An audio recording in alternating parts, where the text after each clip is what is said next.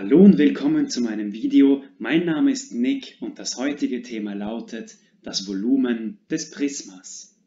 Bevor ich euch verrate, was ein Prisma eigentlich ist, besprechen wir nochmal, was ein Quader nochmal war und vor allen Dingen, wie wir uns das Volumen eines Quaders berechnet haben.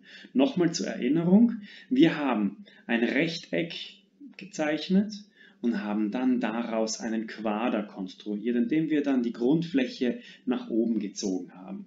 Um dann zu bestimmen, was das Volumen des Quaders ist, haben wir kleine Einheitswürfel, also solche kleinen Würfel, in diese Schachtel hineingepackt. Und zwar genau so viele, bis diese Schachtel bis nach oben voll ist. Und haben uns dann überlegt, wie viele Einheitswürfel passen hier eigentlich hinein. Wer davon keine Ahnung mehr hat, Schaut sich am besten nochmal das Video dazu an. Es heißt das Volumen des Quaders.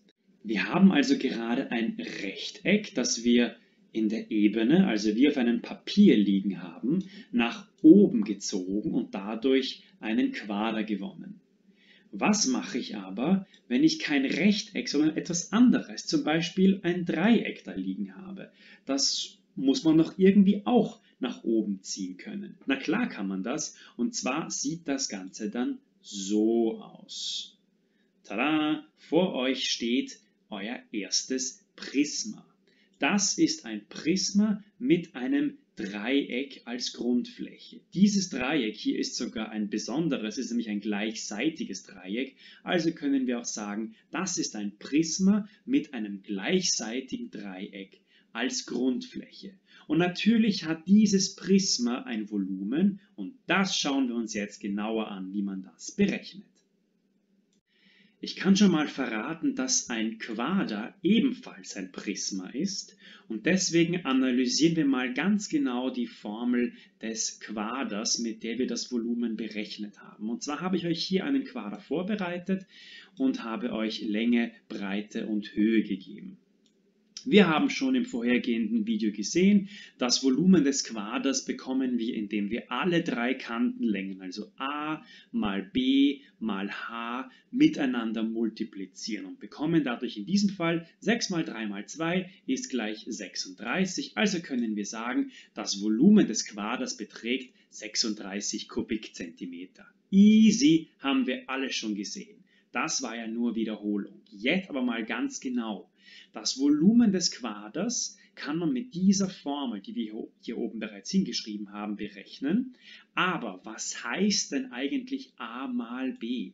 Wir wiederholen nochmal, a mal b ist ja eigentlich der Flächeninhalt von diesem Rechteck hier unten. Das ist ein Rechteck und wenn ich a mal b multipliziere, bekomme ich den Flächeninhalt von dieser blauen Fläche. Naja, und wenn ich das jetzt nochmal h rechne, dann bekomme ich das Volumen. Das heißt, man kann eigentlich auch sagen, wir haben die Grundfläche, in diesem Fall war es ein Rechteck, wir haben die Fläche vom Rechteck berechnet und dann die mit der Höhe multipliziert. Also Grundfläche mal Höhe. Oder noch knackiger formuliert, V ist gleich G mal H. Volumen ist gleich Grundfläche mal Höhe.